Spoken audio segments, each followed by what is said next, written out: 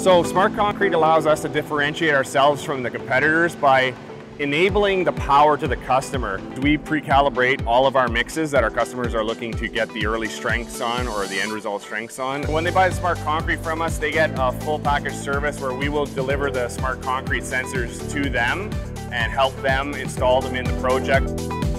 For contractors, what they can see is a big benefit in reducing their manpower and their schedule so they can uh, in real time, instead of waiting three days to strip their forms, they might be able to do it in two days or two and a half days and utilize their workforce better. Once they can see the real data in front of them, the tables, the graphs, the real-time temperatures, and the specified strengths along with our calibrated curves, it's the power they have to know right away without relying on dozens of field cure cylinders running back and forth to the lab.